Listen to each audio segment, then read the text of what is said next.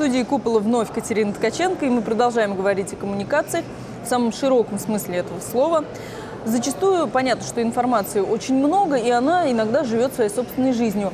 А вот как вот эту жизнь в какие-то рамки законодательства, например, вести, об этом я и поговорю со своим гостем, Ушкановым Виталием Валентиновичем, генеральным директором Российского агентства правовой и судебной информации – Тема нашей беседы – правовое государство как необходимое условие единства страны. Здравствуйте, Виталий Валентинович. Здравствуйте.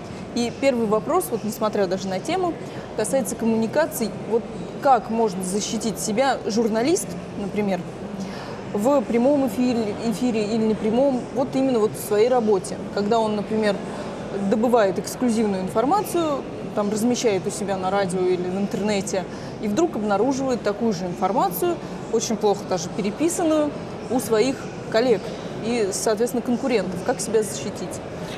Ну, э, вы знаете, я думаю, что журналист вот сам лично, самостоятельно никак себя защитить не может. Я думаю, что э, когда мы говорим журналист, мы имеем в виду, что это сотрудник некоего средства массовой информации, где он работает.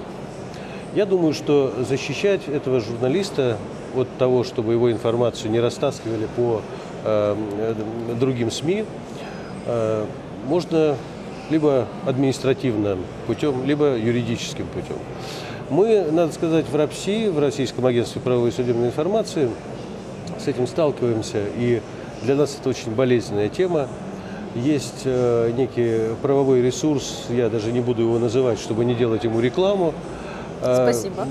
которые э, беззастенчиво совершенно берет наш контент информационный и э, размещает его у себя на сайте.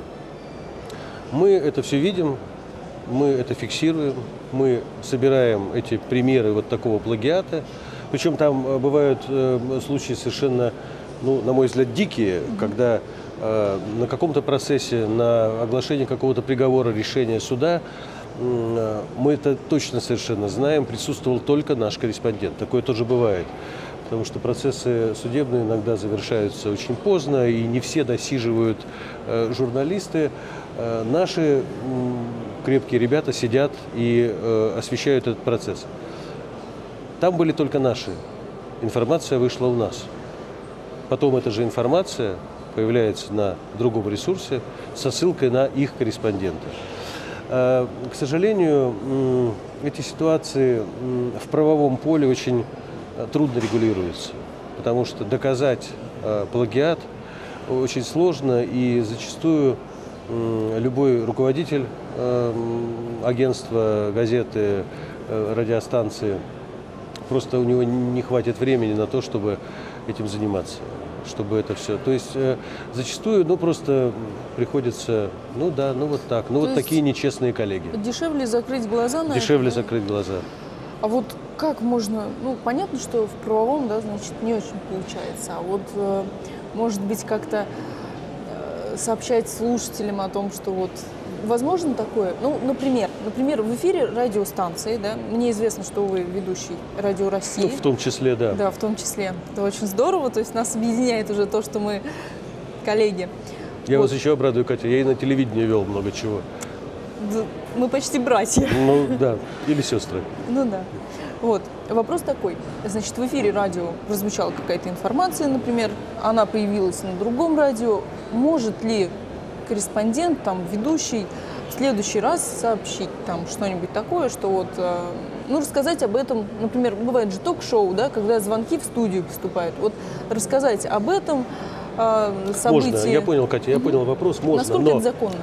А, тут дело не в законе, это абсолютно все э, можно так делать, но я боюсь, что в этом случае мы превратим медиапространство в такую, знаете, площадочку для разборок, для разборок с конкурентами. Да? Угу. Мне кажется, что таким образом мы будем немножечко желтеть.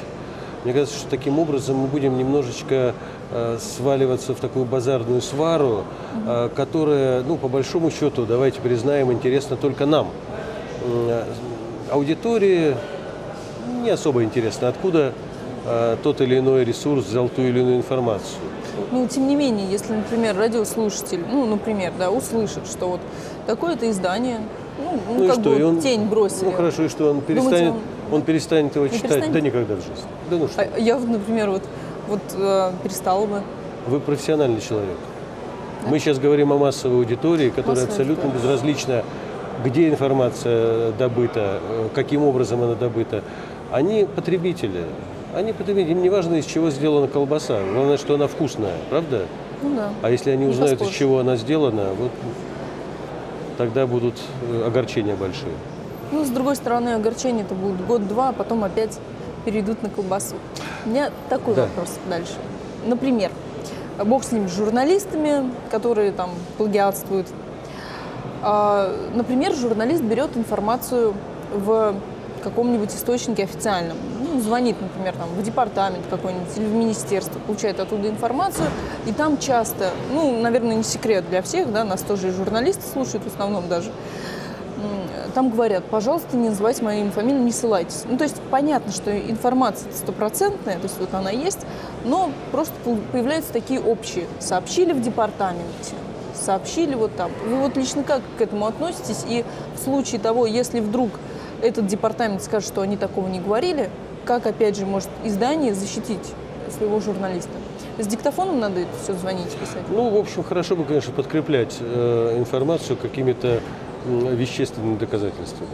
С Да. другой стороны, сейчас, по-моему, по законодательству видео и аудиозаписи, они не являются доказательством. Вы знаете, там э, процессуально это очень э, запутанно и сложно. Я думаю, нам не хватит э, времени в эфире для того, чтобы сейчас в этих вопросах разобраться. Я просто хочу вам сказать, вот из э, вашего вопроса там э, ключевая фраза была «если информация стопроцентно правдива и точна». Вот, на мой взгляд, это главное. Если э, источник э, предоставляет эту информацию на условиях анонимности, это его право. Мы не можем его вынудить э, назвать свою фамилию или э, написать ее, тем более без разрешения, правда? А информация есть. А наше дело ведь что? Донести информацию. Это наша главная задача, понимаете? Мы должны информировать публику. Если, это, если мы уверены стопроцентно в качестве этой информации, в ее правдивости, мы должны ее э, выставлять на ресурс, произносить в эфире, печатать в газете. Э, иначе теряется смысл профессии. Мы вот тут, вот я все пыталась защищать журналистов, да, сейчас я наоборот а я на них нападу. не нападаю. А я, а я сейчас нападу. Да, нападайте. хорошо. Например, иногда журналисты говорят, сообщил источник в правоохранительных органах. Ну, мы часто видим, да, такое Да, словосочетание, это там, на лентах, все. Это нормально А его на самом деле нет. И правоохранительные органы разводят руками, знают, что у них нет такого источника. Вот их как защитить? Вот как они могут ли подать, что это там клевета, что это неправда, что нет такого источника? Нет, вы знаете, Катя, я думаю, что э, в данном случае э, задача не защитить журналистов. В данном случае задача их научить.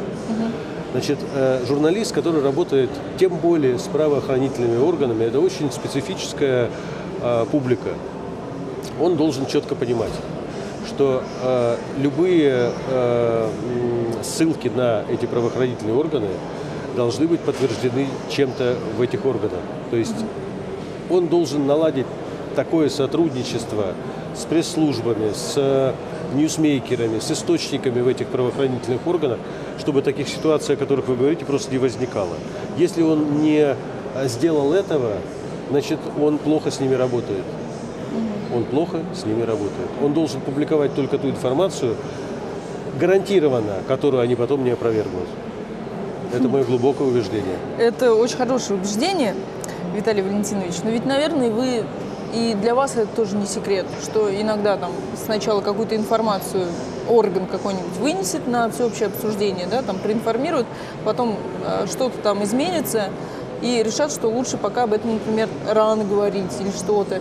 Э, звонят журналистам и просят там то ли снять, то ли дать опровержение. Вот Ну, что такие, такие бывали, э, такие бывали ситуации. Ну, что, ну, приходится давать опровержение. Приходится давать опровержение ради того, чтобы не потерять контакт э, с э, ньюсмейкерами.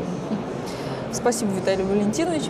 Ну что ж, мы говорили о правовом нигилизме, как со стороны, ну, в основном журналистов. Мы не Вот. успели, мы не успели Ну, поговорить да, о правовом затронули нигилизме. слегка Да. эту тему. К сожалению, время нас поджимает. Ну что ж, дорогие друзья, надо смотреть на источники. Будем внимательнее, будем ответственнее. Продолжайте следить за работой купола.